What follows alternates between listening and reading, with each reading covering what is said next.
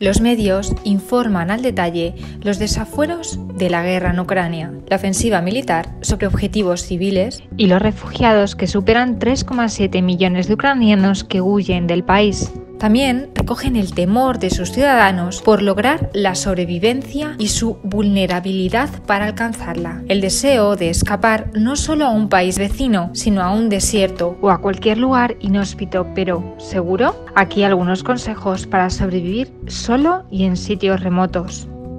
Sugiere Breitbart David una lista de consejos para sobrevivir y maneras para eludir el miedo a la soledad. Cuenta Breitbart David que en redes sociales y en comentarios de lectores de sitios de internet de noticias, muchos expresan en forma de cierta o como desahogo su intención de escabullirse, al menos en su mente. Pero si se diera la posibilidad de evadirse de la guerra, ¿están preparadas las personas para refugiarse en destinos desconocidos y rudos? Especialmente en tiempos de guerra, es importante prepararse para una eventual circunstancia que los lleve a lugares agrestes, toscos, escribió Von David en Waldhammer. El blog alemán está dedicado a preparar a sus lectores a crisis de cualquier tipo. Huidas a sitios insospechados por pandemia o incidentes varios que empujen a afrontar situaciones extremas y con pocos herramientas. En principio dice, vaya a pescar en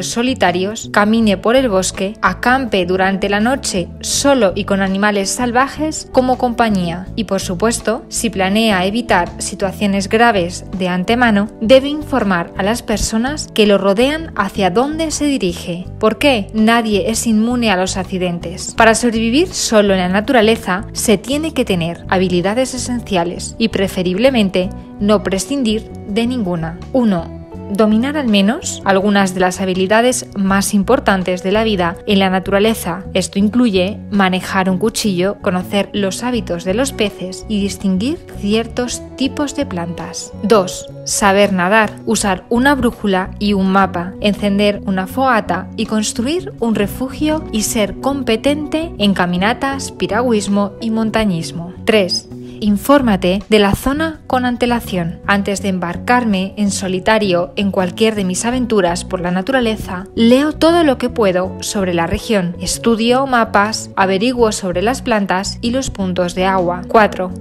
Preparación del equipaje. No tiene por qué ser complicada ni implicar suministros voluminosos y difíciles de transportar. Debe estar bien pensado y planificado para el entorno y la actividad. 5 Llevar un botiquín de primeros auxilios. También llevo una botella de agua, un mapa de la zona, un hilo de pescar y un anzuelo en el cinturón. Cuanto más pequeños sean los ganchos, mejor. 6 calzar zapatos resistentes para caminar y para ayudar a prevenir las mordeduras de serpientes, y un kit de parches para velas o una serie de vacunas antes de aventurarse solo en la naturaleza pueden marcar la diferencia en una emergencia. Cuando los planes fallan, por lo general, uno se enfrenta a la necesidad de sobrevivir. En la era de los aparatos y las campanas y silbatos, a menudo olvidamos que las mejores herramientas para sobrevivir son nuestro propio cuerpo y mente. La preparación para la supervivencia debe comenzar ahí. Agregó que los consejos para sobrevivir no solo sirven para esas escapadas extremas en sitios de alta dificultad, sino también ante cualquier contingencia.